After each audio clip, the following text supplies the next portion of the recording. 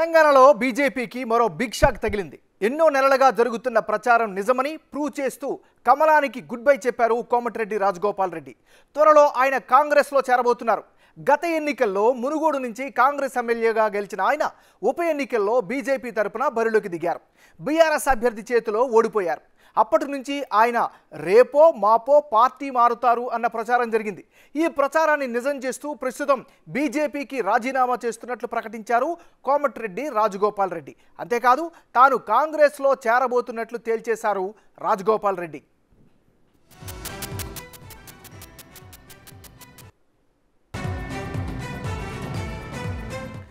తన రాజీనామా లేఖలో కీలక విషయాలను వెల్లడించారు. కోమటిరెడ్డి రాజగోపాల్ రెడ్డి.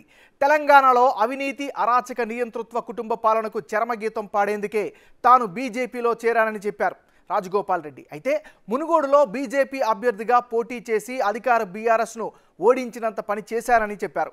మునుగోడు ఉప ఎన్నికల్లో తన విజయం కోసం ప్రయత్నించిన బీజేపీ నేతలు కార్యకర్తలు శ్రేయోభిలాషులందరికీ మరోసారి ధన్యవాదాలు తెలుపుతున్నానని ఆయన రాజీనామా లేఖలో తెలిపారు.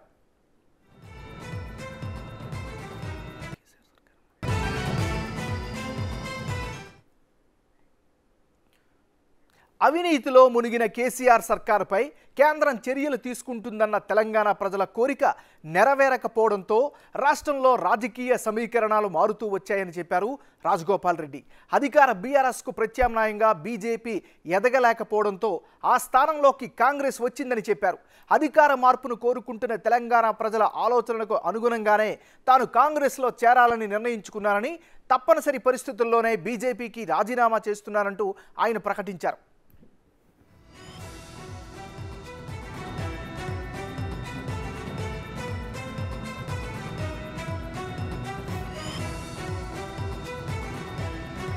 నాడు కాంగ్రెస్ నుంచి బీజేపీలోకి చేరిన నేడు బీజేపీ నుంచి కాంగ్రెస్లోకి మారుతున్న లక్ష్యం మాత్రం ఒకటే అని కేసీఆర్ కుటుంబ అవినీతి అరాచక అప్రజాస్వామిక పాలన నుంచి రాష్ట్రాన్ని విముక్తి చేయడమే చెప్పారు రాజగోపాల్ రెడ్డి.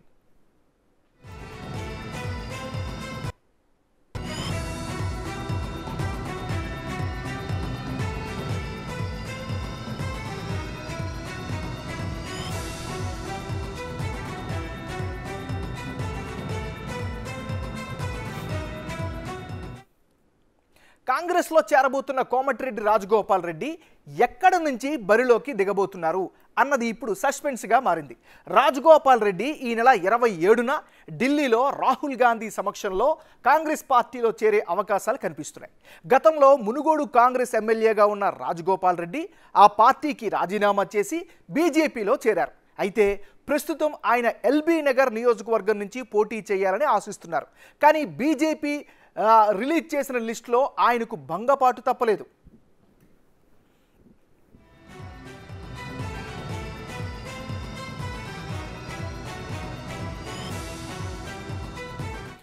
భారతీయ జనతా పార్టీ విడుదల చేసిన తెలంగాణ అభ్యర్థుల జాబితాలో తన పేరు లేకపోవడంతో రాజగోపాల్ రెడ్డి అలిగినట్లు ప్రచారం నడుస్తోంది. అందుకే ఆయన కాంగ్రెస్లోకి వెళ్తున్నారు అనే ప్రత్యర్థులు చెబుతున్నారు.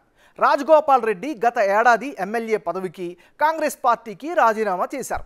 రెండు వేల ఇరవై రెండు నవంబర్లో జరిగిన మునుగోడు ఉప ఎన్నికలో బీజేపీ తరపున పోటీ చేసి బీఆర్ఎస్ అభ్యర్థి కూసుకుంట్ల ప్రభాకర్ రెడ్డి చేతిలో ఓటమి పాలయ్యారు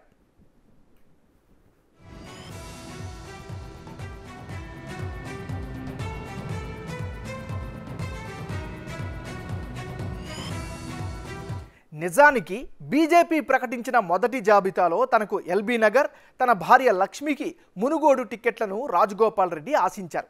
కానీ నాయకత్వం ప్రకటించిన జాబితాలో ఆ స్థానాలతో పాటు వీరి పేర్లు కూడా లేవు. ఈటెల రాజేందర్కు మాత్రం రెండు సీట్లలో అటువైపు హుజూరాబాద్ గజ్వేల్లో పోటీ చేసేందుకు అధిష్టానం అవకాశం కల్పించింది.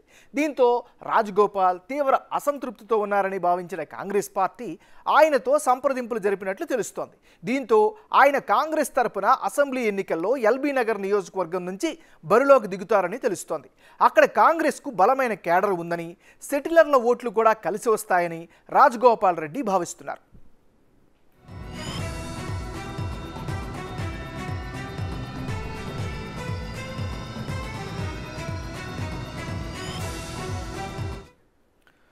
ఉమ్మడి నల్గొండ జిల్లా రాజకీయాలకు కేర్ ఆఫ్ కోమటిరెడ్డి బ్రదర్స్. స్థానం ఎంపీ అయినా ఎమ్మెల్యే అయినా కోమటిరెడ్డి వెంకటరెడ్డి కోమటిరెడ్డి రాజగోపాల్ రెడ్డి కనుసన్నల్లోనే జరుగుతాయి అన్న ప్రచారం ఉంది. ఆయా నియోజకవర్గాల్లో ఇతర పార్టీల నుంచి ఎవరన్నా నాయకుడు కాంగ్రెస్లో చేరాలన్నా అదేవిధంగా కొన్ని నియోజకవర్గాల్లో ఎమ్మెల్యే టిక్కెట్లు కేటాయింపుల్లోనూ వీరి ప్రభావం ఉండేది. అన్న ఎంపీ అయితే తమ్ముడు ఎమ్మెల్యే తమ్ముడు ఎంపీ అయితే అన్న ఎమ్మెల్యే అన్నట్లుగా ఉంటుంది.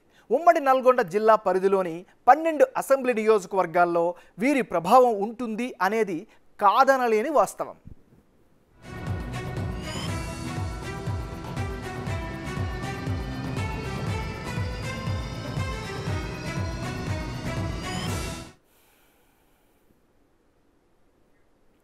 సూర్యాపేట కోదాడ హుజూర్ నగర్ నాగార్జున సాగర్ నియోజకవర్గాల మినహా మిగిలిన ఎనిమిది చోట్ల కోమటిరెడ్డి బ్రదర్స్ ప్రభావం ఉంటుంది. తన అనుచరులకు లేదా తన బాగా నమ్ముకున్న వారికి టిక్కెట్ల కోసం ప్రయత్నం చేస్తారు ఈ నేతలు.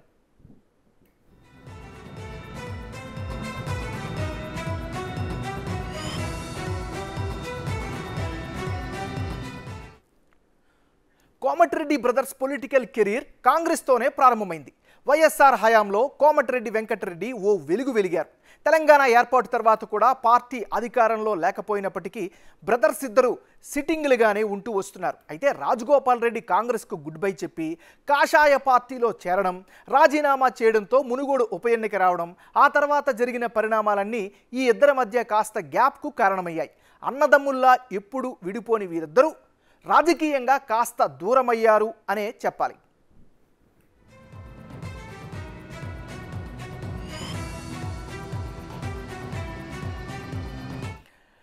అప్పట్లో సొంత తమ్ముడే పార్టీని వీడి వెళ్ళడంతో వెంకట్రెడ్డి కూడా అదే బాటలో నడుస్తారు అన్న ప్రచారం జరిగింది. కానీ తిరిగి తమ్ముడినే ప్రస్తుతం సొంత గూటికి తీసుకొచ్చారు వెంకట్రెడ్డి. నిజానికి తమ్ముడు వేరే పార్టీలో ఉండడం ఆయన బలాన్ని కాస్త తగ్గించింది అనే చెప్పాలి. కానీ ఇప్పుడు గర్వాపసితో మరోసారి ఉమ్మడి నల్గొండ జిల్లాపై మరోసారి పూర్తి స్థాయిలో పట్టు సాధిస్తారు అన్న ప్రచారం బలంగా జరుగుతోంది.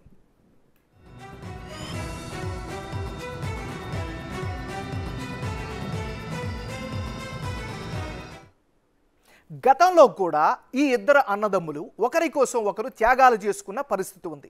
రెండు వేల పద్దెనిమిది అసెంబ్లీ ఎన్నికల్లో కాంగ్రెస్ తరపున ఐదోసారి పోటీ చేసి ఓడిపోయారు. వెంకట్రెడ్డి. ఆ మరుసటి ఏడాదే జరిగిన పార్లమెంట్ ఎన్నికల్లో కోమటిరెడ్డి భువనగిరి లోక్సభ నియోజకవర్గం నుంచి పోటీ చేసి విజయం సాధించారు. వాస్తవానికి ఆ స్థానం నుంచి రెండు వేల తొమ్మిదిలో భువనగిరి ఎంపీగా పోటీ చేసి విజయం సాధించిన ఆయన తమ్ముడు రాజగోపాల్ రెడ్డి రెండు వేల పద్దెనిమిది ఎన్నికల్లో మునుగోడు అసెంబ్లీ నియోజకవర్గం నుంచి ఎమ్మెల్యేగా గెలిచారు. దీంతో రెండు వేల పంతొమ్మిది లోక్సభ ఎన్నికల్లో భువనగిరి నుంచి వెంకట్రెడ్డి బరిలోకి దిగి గెలిచారు.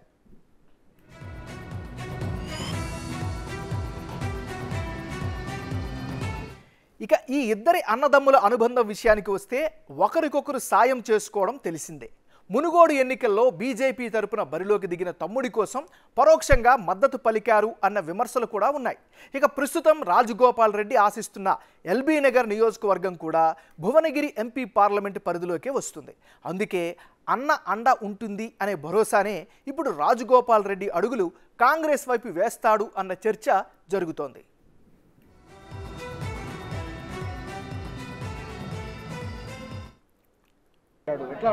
నాకు ఇంకా తెలియదు ఉదయం వెళ్ళి మా వాళ్ళు ఉన్నా తెలుసుకున్న తర్వాత మాట్లాడతా. అంటే సొంత ఇంటికి రాబోతున్నారు. ఎట్లా అనిపిస్తుంది? మీకు వ్యక్తిగతంగా ఎట్లా అనిపిస్తుంది నాతో మాట్లాడలేదు నాకు తెలియదు విషయంలో ఎప్పుడో ఇవాళ నైట్ రేపు మార్నింగ్ టోటల్ లిస్ట్ వస్తుంది.